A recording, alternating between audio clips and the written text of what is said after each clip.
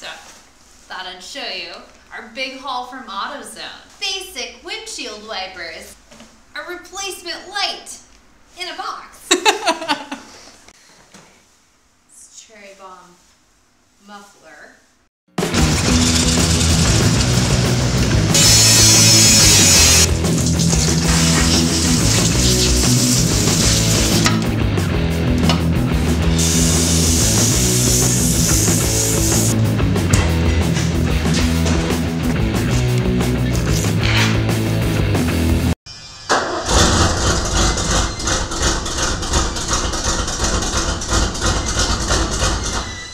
So we're gonna do something about the muffler today. So you can see it's in pretty bad shape.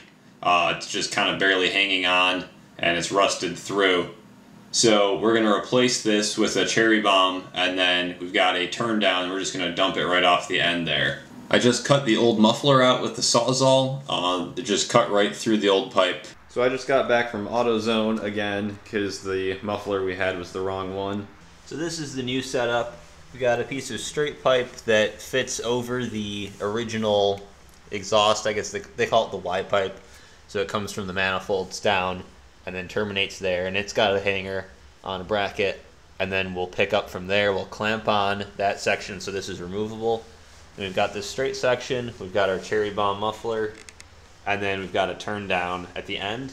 And then I'm going to use one of these holes in the frame. And we've got a hanger, like a rubber hanger bracket that will mount a like quarter inch rod that'll bend up. So we're going to start off just welding this joint. So this part slips in, so we'll just kind of do a lap joint along here. And then same on this end, this extension slips over, so we'll just do a lap joint around there. And that should be good for sealing off the exhaust. And then we'll have a hanger coming off of here. And then this end is supported by a hanger already. So I'm gonna tack it up now. I've got it set up on some jack stands just so I can keep everything in line. And we'll see what happens.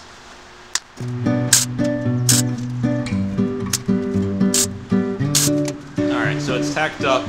Seems like it's welding pretty decent. I'm gonna go ahead and try and lay a bead.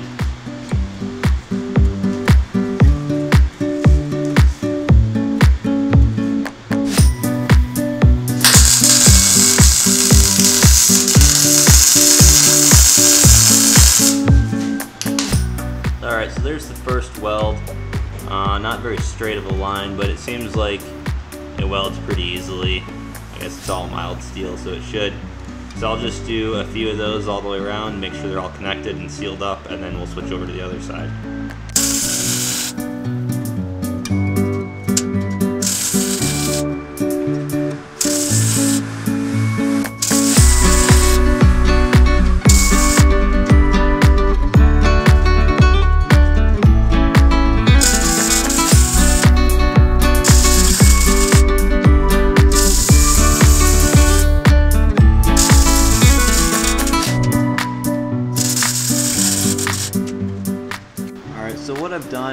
Started off by welding this kind of junction between the two.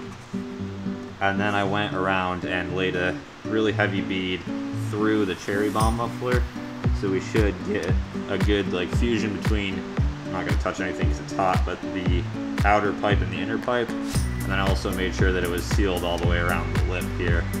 So I don't know if that's the right way to do it or not. It worked. We lit some paint on fire, but should be good to go. And then we'll hit up the other side and maybe throw it on the truck. So I need to take a little bit off this turn down just so it fits up better on the end of the other pipe. And then we'll get that welded in. $15 on Craigslist. Best thing I've ever bought.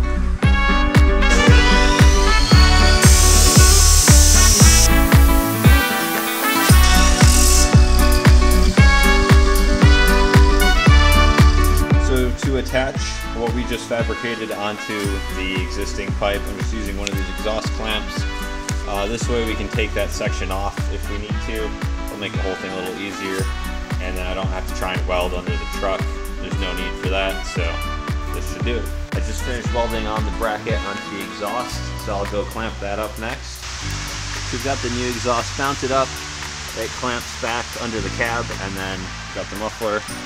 And It just turns down over here. Nothing too fancy. Hopefully it's not too loud.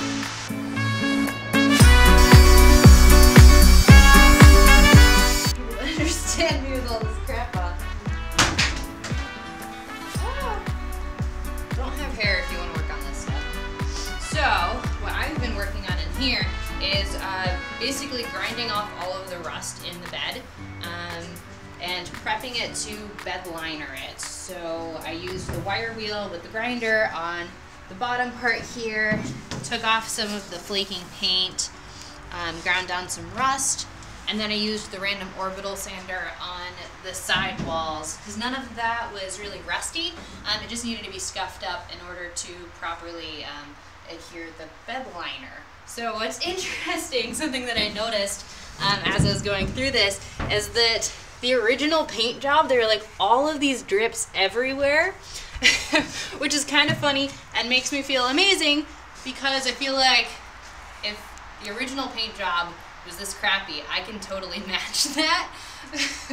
so we'll see how it goes. So Faith's got the bed cleaned out now and she's putting some tape around the edges. And then next up we're going to put some primer on the rust spots anywhere that got sanded down to bare metal and we'll prime that and then the truck bed liner will go on next. So Faith's hitting the bed with some primer now.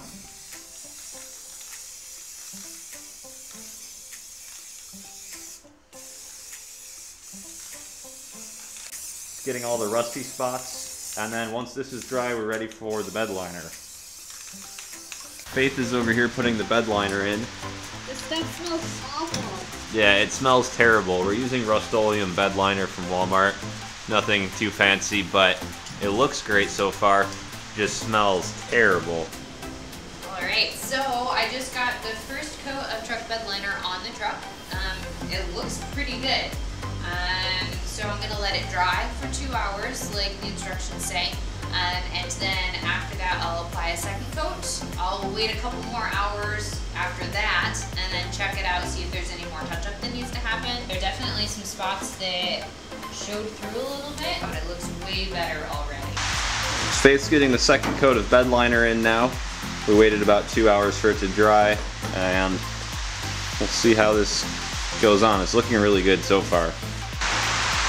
Josh also stopped by and helped us flip the bed up on its edge so we can get to the bottom side now. The, um, the truck liner has dried and it seems pretty solid so far. So next up we're going to grind down all the paint on here and spray it with some black Rust-Oleum like industrial paint. Currently scraping mud and grease off the underside of the bed um, prepping it so that I can paint the underside with that same Rust-Oleum black paint um, that we used on the frame, so that we can prevent any rust from happening to the underside of the bed since, since it is in such great condition. So we got the bed mostly ground down. They've spent a lot of time on this. Uh, now it's all just covered in dust from yeah, everything we grind off is just sticking back to it. So we're gonna clean up for tonight, let the dust settle, and then try and wash it off tomorrow. And then it should be ready for paint.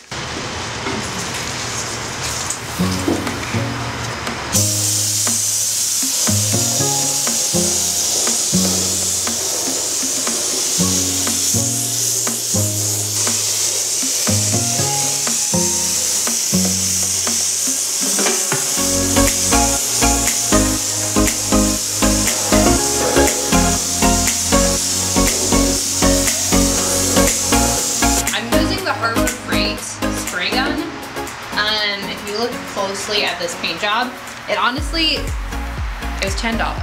So for a $10 gun, it's doing a decent job. Um, but overall, it's not that high quality because we don't have a huge compressor. It sucks up a lot of air and it is really intermittent in being able to work. Um, it also is really splattery, um, so you're not gonna get a very clean finish with this, which is fine because this is the underside of the bed. Um, but it did make us reevaluate what we're gonna use on the overall paint job. The compressor we're using is this Husky 20 gallon. It does 5.2 CFM at 40 PSI and the gun uses 6 CFM at 40, so we really can't run continuously with this, which is unfortunate. Alright.